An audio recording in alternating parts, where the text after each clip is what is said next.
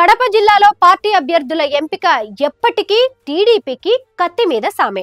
పూర్తి స్థాయి కసరత్తు చేసినా ఏదో ఒక వెలితి కనిపిస్తూనే ఉంటుంది.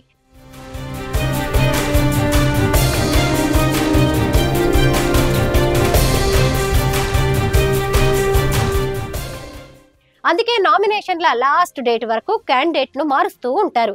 కానీ తన సంప్రదాయాన్ని మార్చుకొని వచ్చే ఎన్నికలకు ముందుగానే అభ్యర్థులను ప్రకటించాలని టీడీపీ అధినేత చంద్రబాబు తీవ్రంగా ప్రయత్నిస్తున్నారు.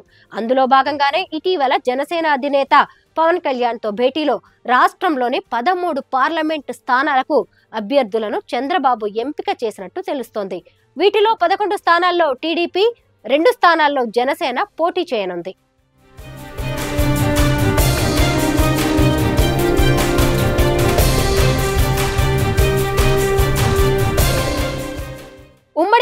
జిల్లాలో రాజంపేట ఎంపీ స్థానం నుంచి టీడీపీ అభ్యర్థిగా సంగం వాసి బాలసుబ్రహ్మణ్యంను ఎంపిక చేసినట్టు సమాచారం. ఇక కడప లోక్సభ స్థానంపై ఒక స్పష్టమైన నిర్ణయానికి రాలేక అభ్యర్థి ఎంపికను చంద్రబాబు వాయిదా వేసినట్టు తెలుస్తోంది. సీఎం జగన్ సొంత జిల్లా కావడంతో కడప నుంచే వైసీపీపై పట్టు సాధించాలని టీడీపీ పావులు కదుపుతుంది. అందుకు తగ్గట్టే అసెంబ్లీ నియోజకవర్గాల అభ్యర్థుల ఎంపికకు కసరత్తు చేస్తోంది. ఇప్పటికే కొంతమందిని అభ్యర్థులుగా అనధికారికంగా ప్రకటించి మిగిలిన నియోజకవర్గాలపై చంద్రబాబు ఫోకస్ పెట్టారు. అసెంబ్లీ నియోజకవర్గాల అభ్యర్థుల ఎంపిక వరకు అధినేతలో ఒక స్పష్టత ఉన్నా పార్లమెంట్ అభ్యర్థిపై గందరగోళం కనిపిస్తోంది. అధికార పార్టీ వైసీపీ ఇప్పటికే సిట్టింగ్ ఎంపీ అవినాష్ రెడ్డినే దాదాపు ఖరారు చేసినట్టే టీడీపీ ఎంపీ అభ్యర్థిపై ఒక నిర్ణయానికి రాలేకపోతున్నారు. రెండు వేల పద్నాలుగు రెండు వేల పంతొమ్మిదిలో వైసీపీ అభ్యర్థి అవినాష్ రెడ్డి రెండు సార్లు గెలిచారు. కానీ సైకిల్ పార్టీ మాత్రం అభ్యర్థులను మారుస్తూనే ఉంది.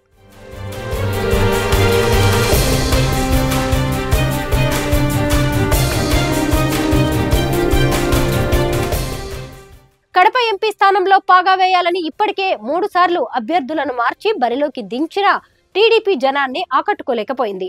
గజని దండయాత్ర తరహాలోనే ఇక్కడ అభ్యర్థుల ఎంపిక ఎన్నికల బేరీ మోగుతోంది.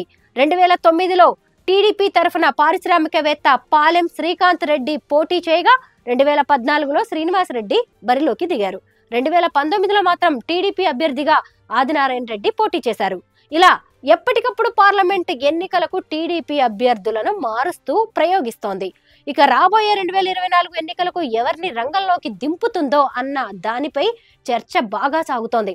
కడప పార్లమెంట్ పరిధిలో కడప కమలాపురం జమ్మలమడుగు పులివెందుల ప్రొద్దుటూరు మైదుకూరు బద్వేల్ అసెంబ్లీ స్థానాలు ఉన్నాయి.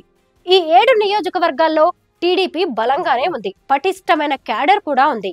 కానీ పార్లమెంటుకు పోటీ చేసే అభ్యర్థులే టీడీపీకి కరువయ్యారు. భూతద్దం పెట్టి వెతికినా ఆ స్థాయి నాయకులు కనిపించడం లేదట.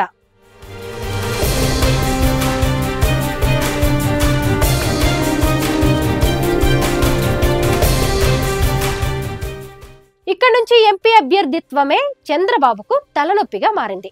సరైన నేత అందుబాటులో లేడనే అభిప్రాయం ఆయనలో స్పష్టంగా కనిపిస్తోంది. వచ్చే లోక్సభ ఎన్నికల్లో కడప అభ్యర్థి ఎంపికపై టీడీపీ అధినేత ఆచితూచి అడుగులేస్తున్నారట. ఆర్థిక బలం ఉన్న పారిశ్రామికవేత్తలను అభ్యర్థులుగా ఎంపిక చేస్తుండటంతో ఇలా ఎన్నికలు ముగియగానే అలా వారు మాయమైపోతున్నారు. కందుల రాజమోహన్ రెడ్డి పాలెం శ్రీకాంత్ రెడ్డి కూడా ఇలా వచ్చి అలా వెళ్ళినోళ్ళే. గత ఎన్నికల్లో పోటీ చేసిన ఆదినారాయణ రెడ్డి బీజేపీలో చేరిపోయారు.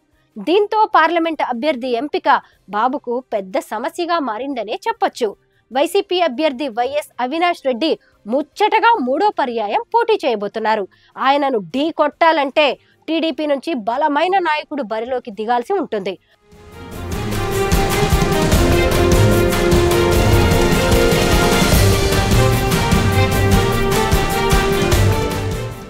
ప్రస్తుతానికి అటువంటి నేతలు ఆ పార్టీలో లేరనే వాదన వినిపిస్తోంది.